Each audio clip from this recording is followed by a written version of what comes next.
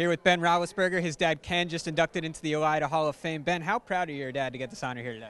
Well, it's hard to get much more proud. I, am just always, uh, you know, he's been my role model for, for a long, long time, and um, it's just, uh, it's really neat for him to get into this uh, uh Hall of Fame here in Elida. I, I, knew, and I've heard the stories about how great of an athlete he was, and uh, this kind of just puts the icing on the cake. Absolutely. How much of your athletic accomplishments do you attribute to what you learned from your dad? Well, I, you know, he's he's been my role model and my hero, and so it's been more than just sports. You know, it's in life and as a father. So, um, you know, I've heard uh, I've heard stories and seen the old 16 millimeter tape of him playing playing ball, and uh, you know, I, would like to think that a lot of my uh, athleticism comes from him.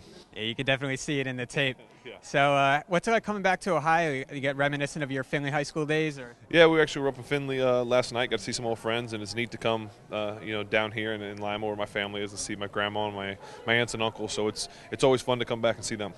That's great. And final question: Do you have a prediction for the upcoming Super Bowl? Denver, Seattle? Uh, it'll be cold and a good game. Thank you so much, man. Appreciate your time.